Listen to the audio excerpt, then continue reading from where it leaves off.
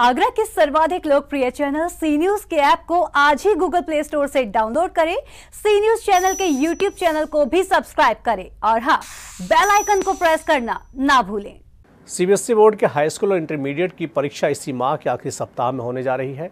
दूसरी तरफ़ भीषण गर्मी भी पड़ रही है। पेपर का समय भी सुबह साढ़े दस बजे से रखा गया है। पेपर के समय बच्चे काफ़ी परेशान हो सकते हैं।